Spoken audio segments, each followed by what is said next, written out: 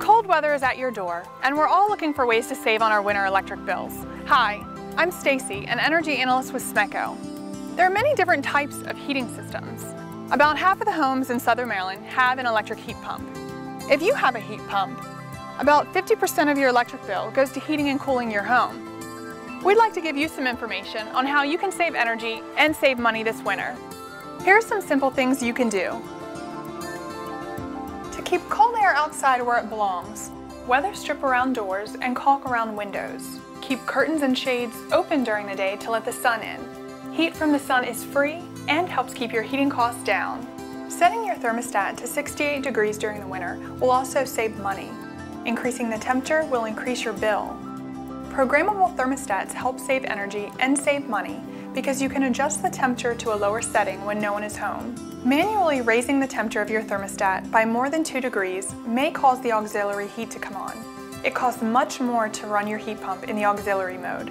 To keep your system operating efficiently, keep registers open and don't block them with furniture. Change air filters monthly. A dirty filter can clog your system and make it work harder.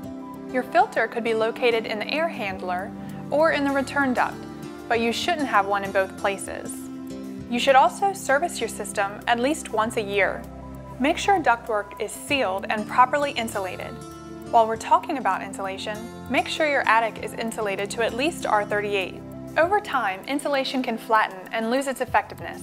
If you have questions about the insulation in your home, schedule a quick home energy checkup. A professional will visit your home and provide a recommendation on your insulation. Now let's take a look at your outdoor unit. There should be nothing blocking your heat pump, such as snow, bushes, fences, or leaves. Restricting the airflow will make your heat pump work harder. Many people ask about using space heaters or electric fireplaces. Plug-in heaters should be avoided because they use a lot of energy.